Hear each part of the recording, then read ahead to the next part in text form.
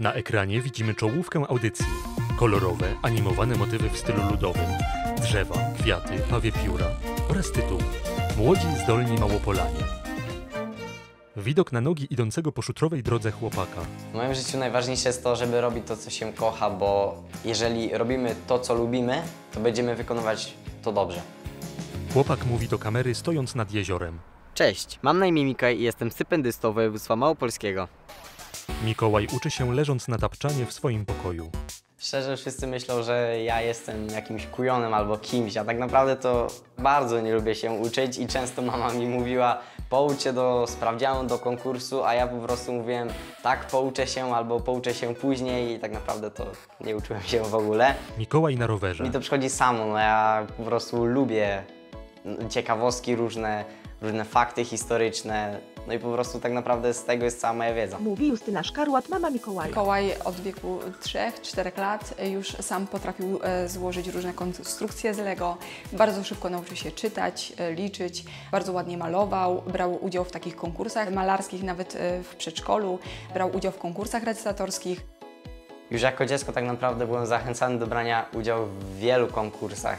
No teraz jak już jestem starszy, to biorę udział w matematycznych, geograficznych, fizycznych. W moim dorobku konkursowym jest kilka mocniejszych dyplomów, wygranych tytułów. Najmocniejszym w moim dorobku jest geograficzny konkurs wojewódzki, z którego dostałem miano finalisty. Mówi Maria Orzeł, nauczycielka Mikołaja. Mikołaj bardzo często mnie zaskakiwał, ponieważ nie zawsze wierzyłam w jego sukces. On tego sukcesu czasami był pewien i ten sukces osiągał. Mikołaj siedząc na murku nad jeziorem łapie rzuconą z za kamery kostkę Rubika i układa ją. Wiadomość o tym, że Mikołaj dostał stypendium, była dla nas takim bardzo mocnym utwierdzeniem tego, że faktycznie mamy zdolnego tego syna. Okazało się, że jestem stypendystą, że dostałem to stypendium.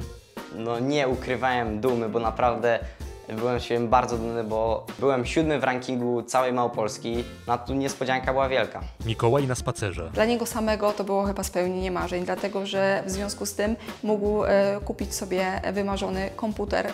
Chłopak włącza komputer. Dzięki temu komputerowi udało mi się tak naprawdę wiele rzeczy bardzo przemyśleć, bo jak byłem młodszy, zawsze mi się marzyła kariera architekta. Zawsze rysowałem tam różne projekty, budynków, wszystkiego, a w momencie, gdy dostałem komputer, patrząc na takie na przykład robienie grafiki komputerowej czy czegokolwiek, no po prostu mnie to jara, no Widok na Mikołaja przy komputerze. Następnie przebitka na Mikołaja grającego na pianinie elektrycznym. Na pewno bardzo doceniam to, że ukończyłem do szkoły muzycznej, dlatego że to była dla mnie bardzo fajna przygoda. I tak naprawdę no, fajne jest to, że ja potrafię usiąść przy fortepianie no i zagrać coś. Po prostu dzięki temu jestem bardziej wyjątkowy. Na co dzień Mikołaj siada przy instrumencie i podgrywa sobie e, różne inspirujące go melodie. E, aktualnie jest to Sanach, która go bardzo inspiruje.